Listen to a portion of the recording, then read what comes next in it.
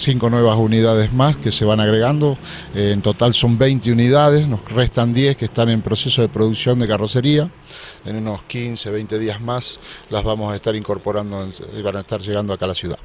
todas cero kilómetros, ya presentamos unas cuantas días atrás, hoy son cinco más y nos faltan 10 que están llegando entre 15 y 20 días. Seguimos, digamos, en, el, en la temática de la mejora de la calidad de los servicios, en este caso eh, la incorporación de cinco unidades nuevas, cero kilómetros por parte de la empresa Santana, generando un parque automotor eh, que de acuerdo a lo que está estipulado con la, última licitación del transporte y que en los próximos días va a entrar en,